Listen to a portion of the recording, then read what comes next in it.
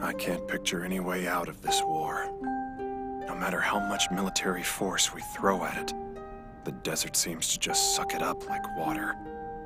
All of this destruction. For what purpose? All that's left is sand. True. It seems a little excessive to suppress an uprising.